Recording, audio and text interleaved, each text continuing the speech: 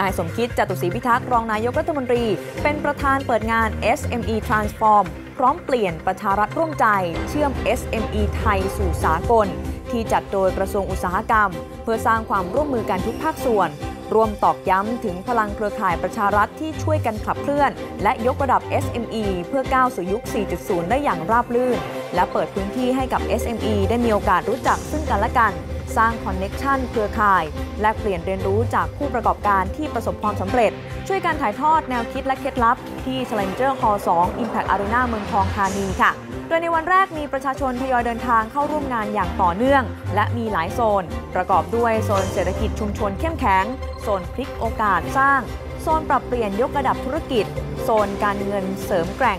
โซนช็อปสินค้าดีมีคุณภาพ รวมทั้งมีเวทีสัมมนาเพื่อสร้างแรงบันดาลใจในการดำเนินธุรกิจด้วยค่ะ